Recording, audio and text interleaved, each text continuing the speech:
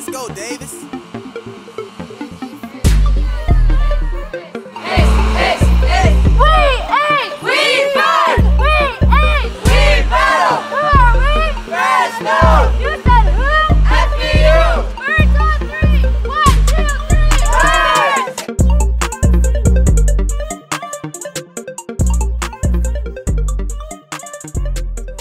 winning this match was really good for me and the team, mostly the team, because I play okay for me, but also and mostly for the team.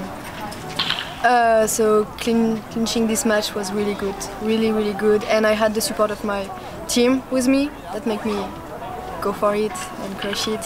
So I'm really happy to to clean the match today against this player, this good player. So yeah.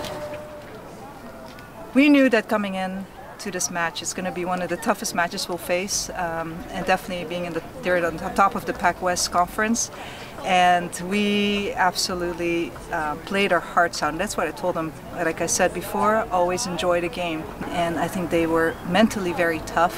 I think that's pulled us through, even though we were behind uh, in the doubles, and uh, in the singles. Man, we were we were sharp, and I think uh, we couldn't have played mentally better than as of today. And I think we're going to go up from here for sure. Uh, we're undefeated right now. I think we're at 8-0 and uh, we're to keep going. I think we're also undefeated at home too. So it's been it's been an amazing journey.